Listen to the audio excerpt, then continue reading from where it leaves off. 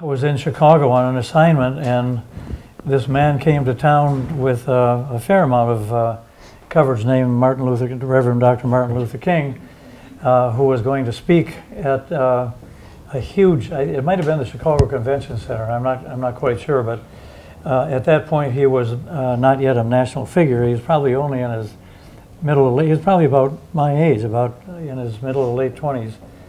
And he came to raise money for uh, SCLC. And um, I was curious because I had, I had read about him. And uh, I, had, I had the night free, so I went to hear him speak. And uh, there was this great big blank stage in this huge convention hall, and there were thousands of people there.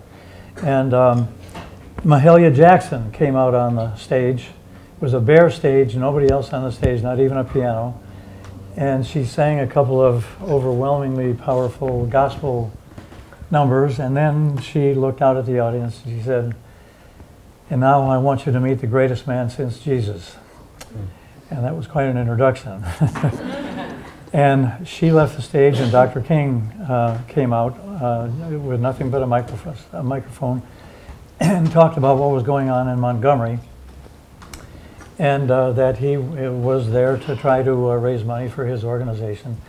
And I was uh, really powerfully moved by, by what Dr. King said, and it turned out he was going to speak at an African American church in uh, South Chicago the next day, and so I went over to hear him a second time, and then I went back to my office and called New York and said I wanted to be transferred to Time Magazine uh, and go to the South.